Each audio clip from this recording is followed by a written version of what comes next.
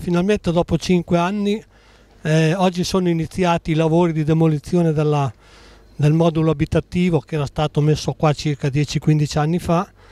eh, però non lo potevamo utilizzare come sede sociale perché non ci è mai stato concesso il permesso, praticamente è sempre stato utilizzato a livello di magazzino. In questi cinque anni abbiamo lavorato per eh, poter realizzare una sede, una casetta in legno con bagno e con eh, una, una stanza come ritrovo per gli ortolani.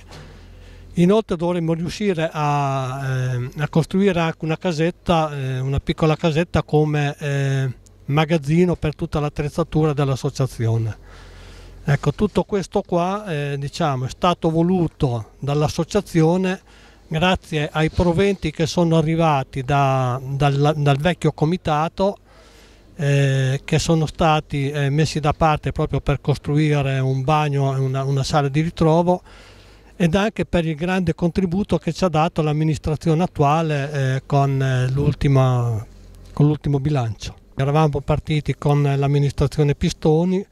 eh, i fondi non c'erano, eh, siamo stati fermi fino, fino ad ora in poche parole. Ci siamo trovati con alcuni ostacoli però eh, ora sembra che tutto proceda secondo, secondo programma. Diciamo che secondo me quest'estate dovrebbe essere tutto pronto, eh, a metà di quest'estate, almeno da quanto è stato detto, perché qua è iniziata la demolizione e a seguire, seguire dovrebbe andare avanti tutto il processo di costruzione. Per cui eh, sì, andare quest'estate